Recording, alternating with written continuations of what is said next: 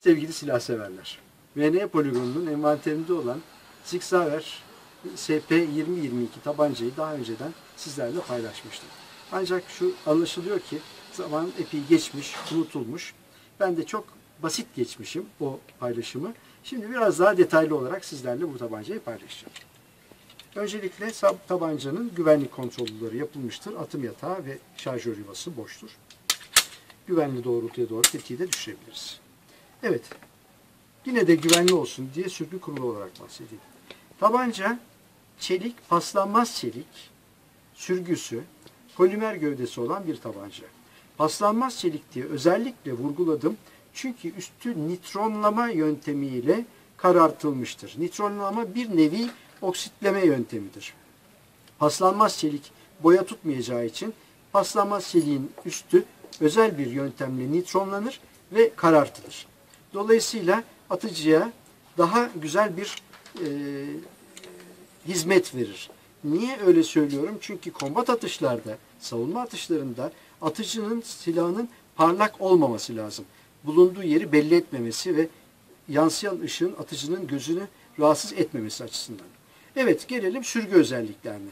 Aslında sürgüyü söküp e, söküp de bakmakta fayda var. Sökmek için yine güvenlik kontrollerini yapıyoruz. E, gövdenin üzerindeki sürgü düşürme mandalının şuradaki kare kesitli, yarı kesitli parçayı hizaya getirdikten sonra ittiğimiz zaman bu parça buradan çıkıyor.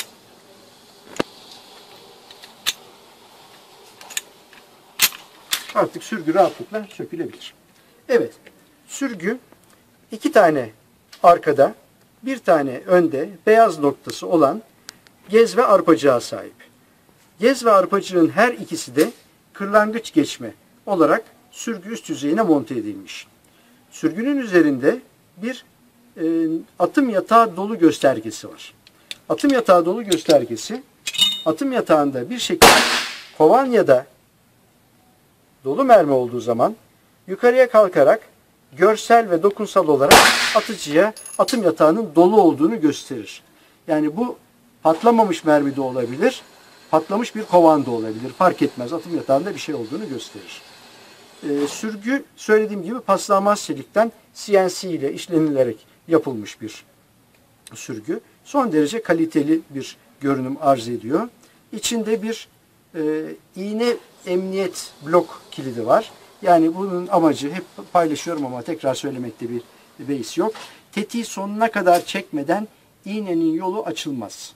Horozun arkasından iğneye vursanız dahi bir şekilde horoz düşük dahi olsa, tabanca yere dahi düşse, horozun arkasında çekişle dahi vursanız iğnenin yolu kapalı olduğu için teorik olarak kırılmadıysa iğnenin gidip kapsüle vurup patlatma imkanı yok.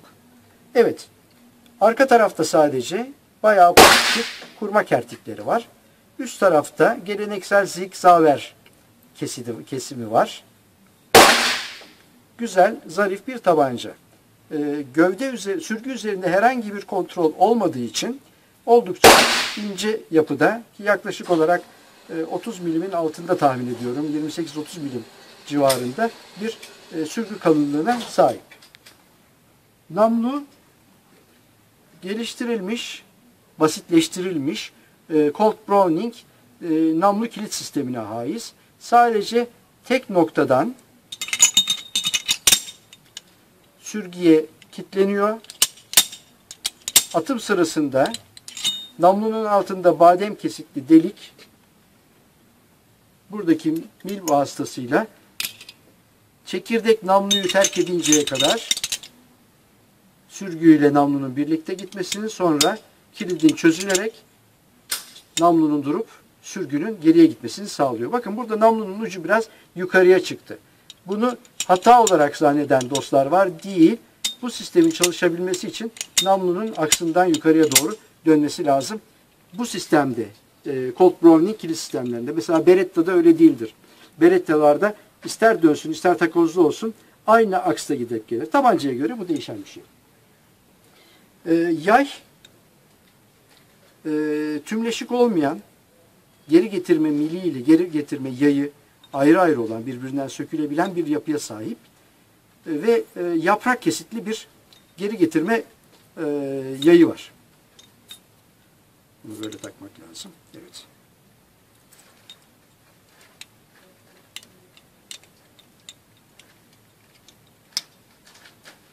Evet, yerine oturdu. Şimdi gelelim gövdeye. Gövdenin bir kere ön tarafında eee, görüyorsunuz değil mi? Atılmış bir tabanca. Eee Picatinny, standart Picatinny e, aksesuar rayı kertikleri var. Gövde polimer ama gövde dökülürken içine bir parça ilave edilmemiş. Ön kızak ve kilit bloğuyla arka horoz bloğu modüler olarak girip çıkabilen parçalar. Yani tamamen bu bloğu, bu bloğu sökebilirsiniz. Tabii bu işin ustası değilseniz hiç tavsiye etmem. Sonra takmakta zorluk çekebilirsiniz. Sökebilirsiniz, takabilirsiniz. Temizlik amacıyla.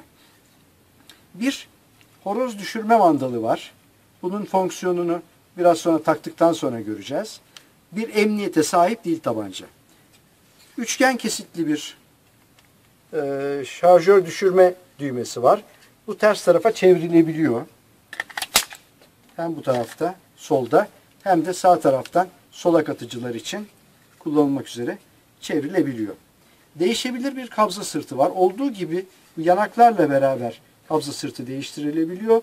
Küçük, orta ve büyük elli atıcılar için 3 tane alternatif söz konusu. Şurada içeride bir pimi var. Bu bas, basıldıktan sonra olduğu gibi bu dışarıya çıkartılıyor.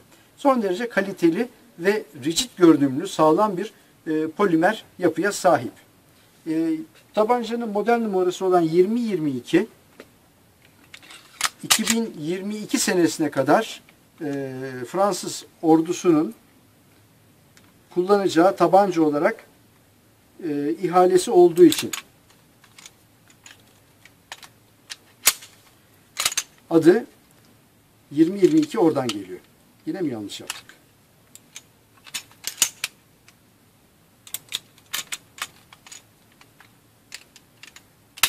Evet şimdi. Şimdi neden e, taktıktan sonra bakarız dedik. Silah boş. Bakın atıcının eline ergonomik olarak gelen baş parmakla rahat kullanabileceğiniz kadar uzun bir sürgü düşürme mandalı var. Burada da bir emniyetli horoz düşürme mandalı var. Bu sadece ve sadece horozu düşürüyor. Silahı patlatmıyor ve emniyete almıyor. Düşürdüğünüz zaman tetiği çekip çift hareketli olarak tabancayı kontrol etmek imkanınız var. Şu anda görüyorum ki son derece yumuşak, rahat bir çift hareket tetiği var. Bu parmağımın ucuyla dahi hiçbir ekstra enerji sarf etmeden çift hareketliyi kullanabiliyorum. Tabi tek hareketli de de son derece güzel 2 kilo 200'lerde falan son derece güzel bir tetiği var. Güzel atış yapılacağını tahmin ediyorum bu tabancayla. Şimdi tabancayı tanıdık 5 aşağı 5 yukarıya. Ağırlık olarak da 800 gramlar mertebesinde bir tabanca olduğunu zannediyorum. Ee, boş şarjörüyle beraber. Tam olarak spesifikasyonları aklımda değil ama o civarda bir izlenim veriyor. 800 gramın e, üzerinde olduğunu tahmin etmiyorum. Son derece ele uygun. Küçük parmak biraz dışarıda kalsa dahi, benim elimde dahi şarjör üzerindeki parmak yuvası o dezavantajı avantaj haline getiriyor. 15 şarjörlük standart 15 mermilik çift sıra mermi alan standart bir şarjörü var. Plastikte bir şarjör tabanı var. Üzerinde Zik Pro yazıyor. Tabanca aslında Zik Pro. Eskiden Zik Pro olarak imal edilen tabanca bu. Ama bu ihale ile beraber adı e, Sig Sauer SP2022 olmuş. Güzel bir tabanca. Şimdi bir 5 tane yavaş yavaş kafaya ondan sonra 5 tane de hızlı olarak atalım bakalım ne diyecek.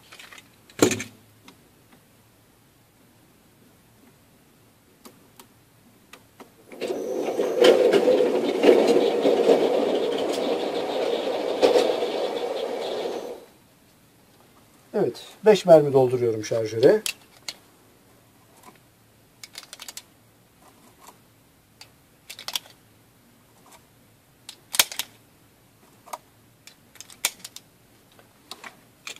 Silah boş. Bir boş olarak tetik düşüreceğim parmağım alışsın diye. Işığı kapatıyorum ki arkadan gelen ışık beni aldatmasın. Evet son derece güzel bir tetiği var. Atış tabancası olarak rahatlıkla kullanılabilir. Ama havasını biraz sonra söyleyeceğim.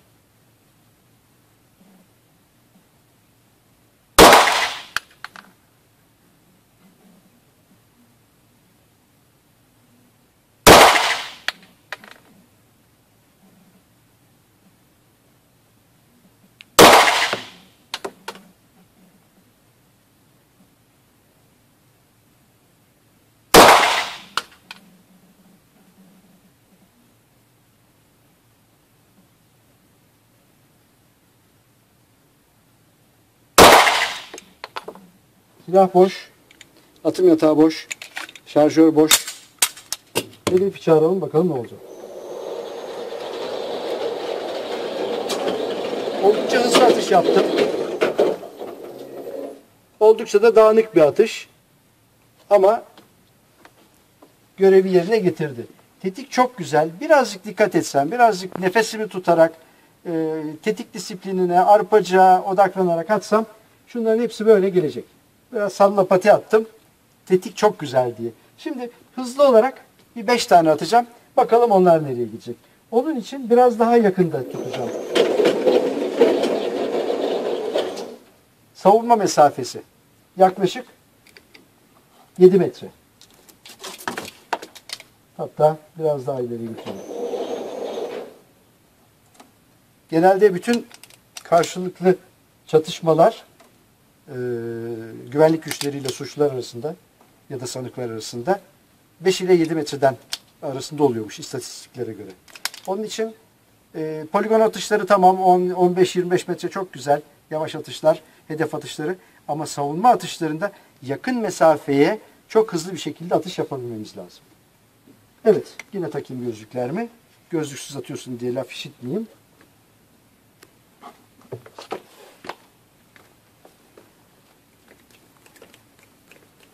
Silah boş, şarjör üzerinde değil. Şarjörü hızlı bir şekilde yerine takıp sürüp hızlı bir şekilde 5 tane mermi atmaya çalışacağım. At.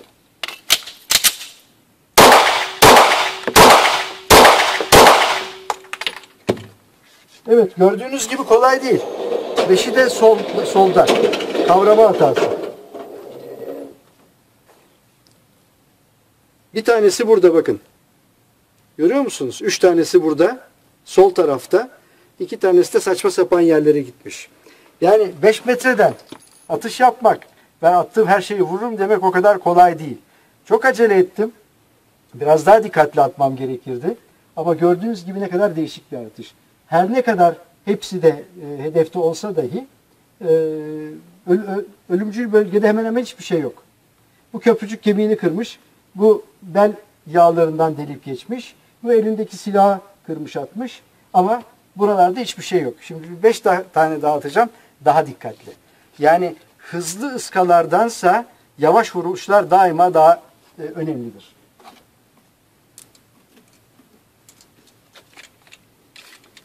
Şimdi değişik bir atış.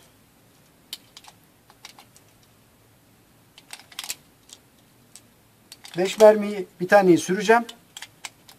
Atım yatağına. Horozu, emniyetli horoz düşürme mandalıyla düşüreceğim.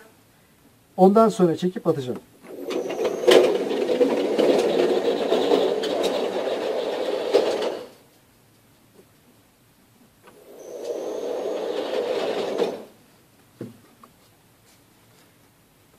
Evet, at komutunu bekliyorum. Silah dolduruldu. Horoz düşürüldü. İlk hareket çift hareketli. Yani silahınızı atım yatağı dolu olarak taşıyorsunuz. Evet, at komutuyla beraber atacağım. At.